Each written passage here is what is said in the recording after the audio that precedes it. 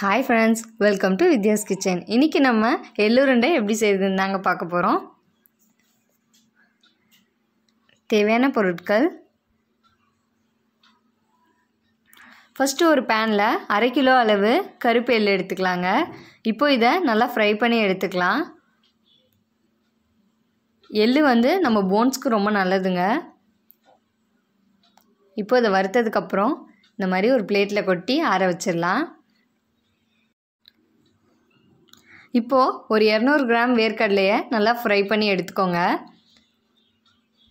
இதையும் அதே மாதிரி ஆற வச்சுட்டு தோல் வந்து எடுத்துருங்க. ரெண்டு கை வச்சு தேய்ச்சிங்கனாலே வந்துடும் இது நம்ம ஸ்கின்னுக்கு ஹேருக்கு ரொம்பவே நல்லது. இப்போது நூற்றி ஐம்பது கிராம் அளவு புளிங்கல் அரிசி எடுத்துக்கோங்க. இதையும் நல்லா அதே மாதிரி ஃப்ரை பண்ணி எடுத்துக்கோங்க.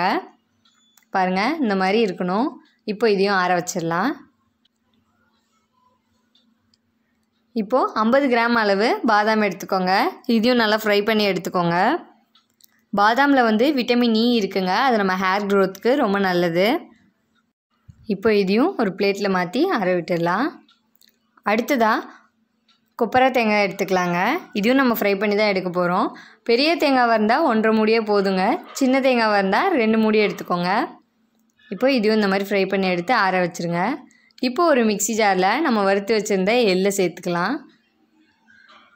இப்போ இதை அரைச்சி எடுத்துக்கலாங்க. பாருங்கள் கொஞ்சம் குறை குறைப்பாக அரைச்சி எடுத்துக்கோங்க. ரொம்ப நைஸாக அரைச்சிடாதீங்க. அடுத்ததாக நம்ம வறுத்து வச்சுருந்த வேர்க்கடலையும் அரைச்சி எடுத்துக்கலாங்க. இந்த மாதிரி அரைச்சி எடுத்துக்கோங்க. இப்போது அதே மிக்சி ஜாரில் புழுங்கல் அரிசி நம்ம வறுத்திருந்த பாதாம் இது ரெண்டையும் சேர்த்து அரைச்சி எடுத்துக்கலாம்.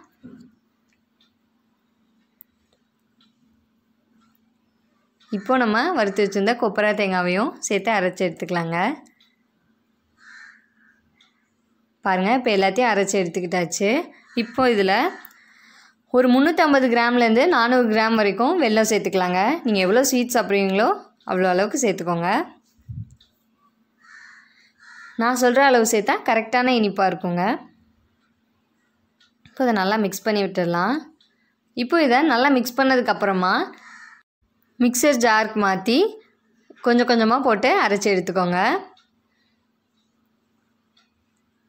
பாருங்கள் ரிவர்ஸ்லேயே சும்மா ஒரு தடவை அடித்தாலே போதும். இந்த மாதிரி அரைச்சி எடுத்துக்கோங்க. இதில் நீங்கள் முந்திரி கூட வறுத்துட்டு சேர்த்துக்கலாங்க அரைச்சி.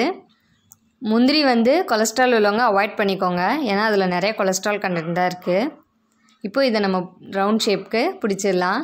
இந்த மாதிரி ஈரப்பதத்தோடு இருக்கும்போதே நீங்கள் வந்து பிடிச்சிருங்க. ஏன்னா ரொம்ப நேரம் வச்சுட்டு பிடிச்சிங்கன்னா இந்த மாதிரி ரவுண்டாக வராது உங்களுக்கு. அவ்வளோதாங்க. ரொம்ப டேஸ்டியான எள்ளுருண்டை ரெடி ஆயிடுச்சு இதில் நிறையா பெனிஃபிட்ஸ் இருக்குங்க. ட்ரை பண்ணி பாருங்கள் உங்களுக்கும் ரொம்ப பிடிக்கும். இந்த வீடியோ பிடிச்சிருந்தா லைக் பண்ணுங்கள் கமெண்ட் பண்ணுங்கள் நம்ம சேனலை சப்ஸ்கிரைப் பண்ணுங்கள்